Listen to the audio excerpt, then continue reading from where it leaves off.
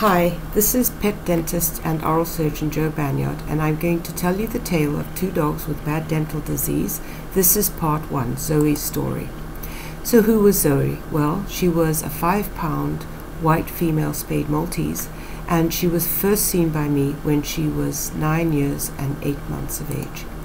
She'd been to a large corporate practice in two different cities, and over eight years she'd seen six veterinarians. She'd had five physical exams, five annual tests for Lyme, Ehrlichia, and heartworm. She'd had fecal testing, deworming, flea treatments, four CBCs and chemistry, four vaccination series, five EKGs, five intraocular pressures, uh, ear cytology and treatment. Her anal sacs had been expressed once She'd had six dental cleanings under anesthetic, and they'd been hand scaled and polished. No intraoral x rays were done. And in the two previous dental procedures, extractions had been recommended for incisor teeth, but the owner had declined due to her fear of anesthesia. There was no home care done.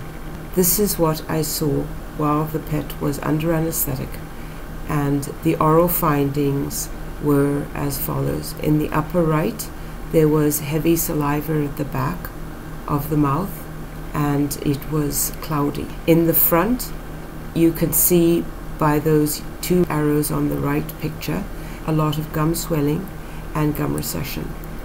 Here is the front view, and you can see swelling on the top jaw and the bottom jaw around the teeth. This is the left side, and in the front, there is a lot of swelling and gum recession of that upper canine tooth and as you can see on the right image there is swelling of the lower canine tooth. The gums were inflamed around the upper canine and incisor teeth and the right lower molar tooth, way at the back. This is the molar tooth on the lower left, showing the same sort of inflammation. Under the tongue, there was also inflammation. This is an area of the tongue that sits against the lower first molar teeth and so if there's plaque there, this is the kind of thing that can happen. You can get an infection. So we took full mouth intraoral x-rays and this shows you all the x-rays needed to get a good look at all of the crowns and all of the roots of the teeth.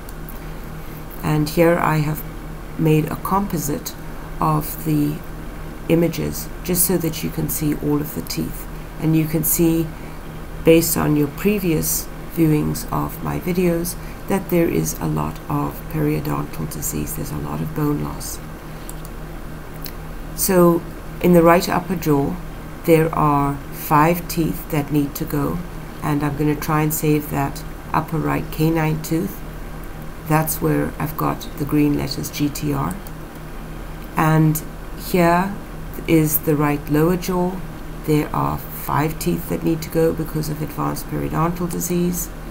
And left upper jaw, five teeth that need to go because of advanced periodontal disease, and I'm going to save that upper left canine tooth with guided tissue regeneration.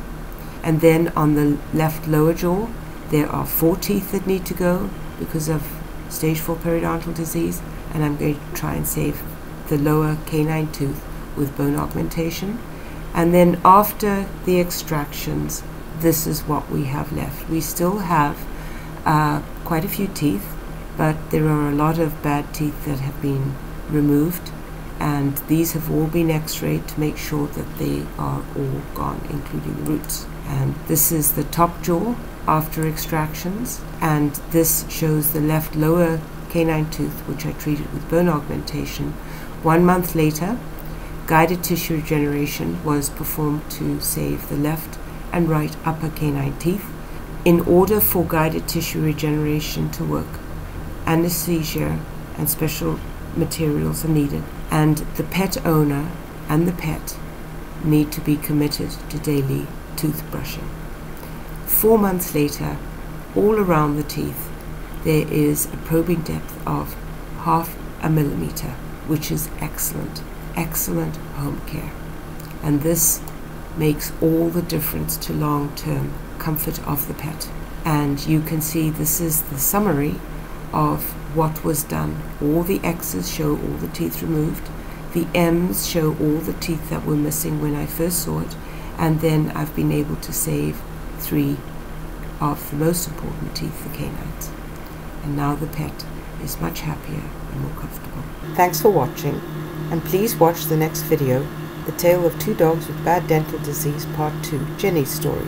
Please like, subscribe, and share. Bye.